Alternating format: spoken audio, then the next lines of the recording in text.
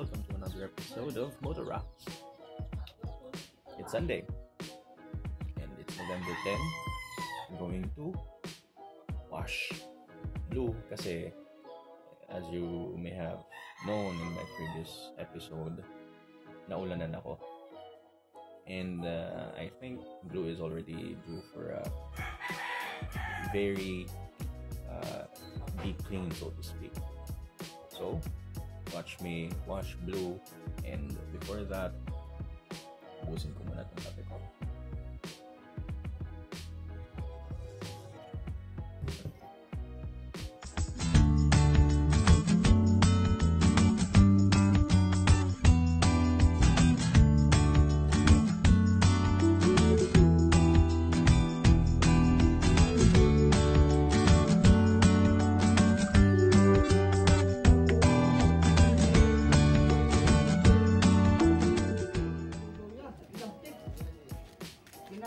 ipaglaban mo ang kuwan. Tungod. Kaya ang kalipura mo siyaw.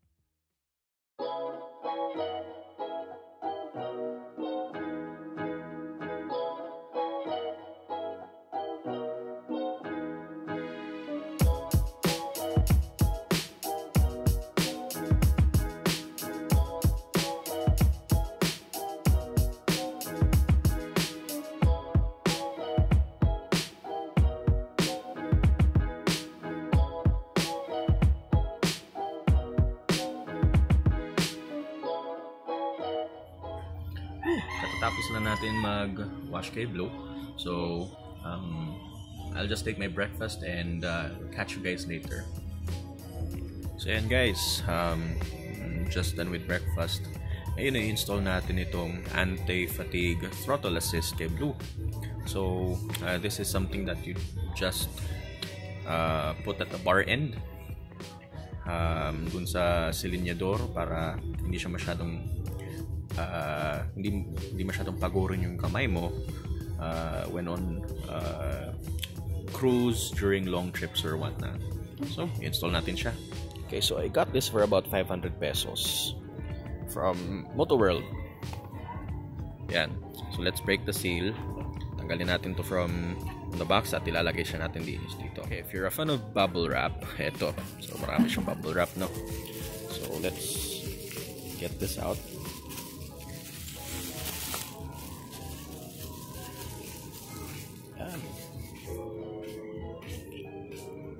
This is the uh, throttle assist. Lalagay natin siya dito. And it's fairly flexible. Tama-tama nilagay siya natin dito. So, let's, do it. So, yan. Nalagay na natin ang uh, throttle assist kay Blue. So, it's an it's not the final position kung titingnan mo. Hindi gan wala nga naman na ganyan, no?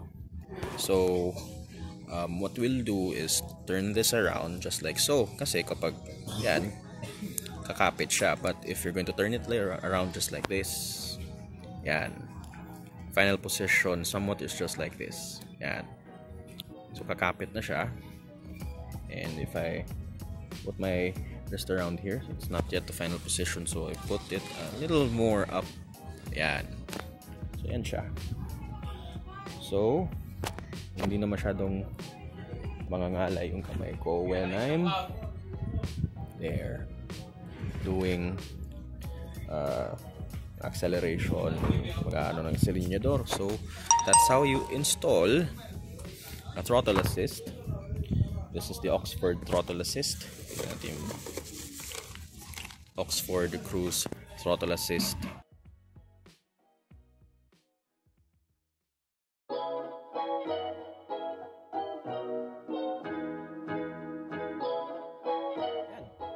there you go. Magiging okay na rin to siya. So that's pretty much about it. If you like this video, hit the thumbs up. If not, thumbs down is okay. Comment down below. Let me know what you think. Also, don't forget to subscribe to Motor Rocks. Smash that subscribe button and that bell notification icon so you won't miss any future videos dito sa Motor Rocks. It's one fine day today. Wow. There you go.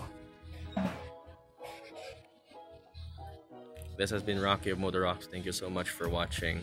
As always, ride safe and keep on rocking.